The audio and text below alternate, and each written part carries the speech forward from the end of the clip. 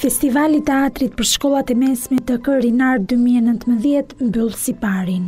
Në edicionin e dytë, gjimnazistët e 10 shkollave në Tiranë ngjitën në skenën e ArTurbinës shfaqje si Babai, Testamenti, Përtej Horizontit edhe të tjera nën udhëheqjen e regjisorëve të rinj. Ky festival u dha mundësinë të rinjve që jo vetëm të prekin skenën e teatrit, por edhe të shpalosin ëndrrat e tyre.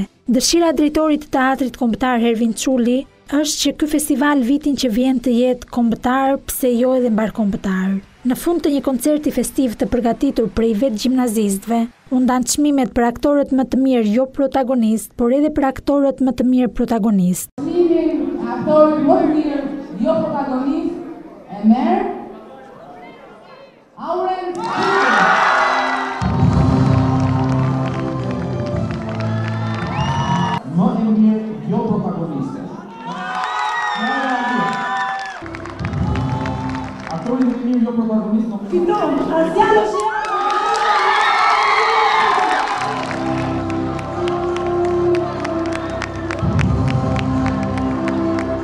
Nxënësja e shkollës Abdullah Keta, Xhoana Karaj, vlerësohet për herë të dytë si aktorja më e mirë në Festivalin e të Rinjve.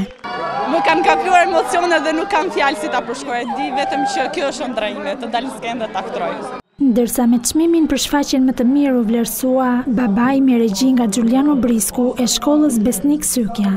Gjithë kolegët kanë punuar shumë. Unë u lidha jashtëzakonisht shumë me pjesën, po edhe shkolla Besnik Sykja më ka suportuar jashtëzakonisht shumë, shumë nxënës, shumë të talentuar. Kjo është forma më e mirë për të afruar të rinjtë me teatrin. Sot, kur teknologjia po bombardon çfarëdolloj gjëje origjinale, me ta themi, por nuk mund ta rrëzojë dot një kullë siç është teatri. Dhe unë jam shumë i lumtur Që ky festival vit për vit rritet e rritet dhe ky festival nxjerr në pah shumë shumë talente të cilët nesër pas nesër do të jenë plejada e aktorëve më të mirë shqiptarë.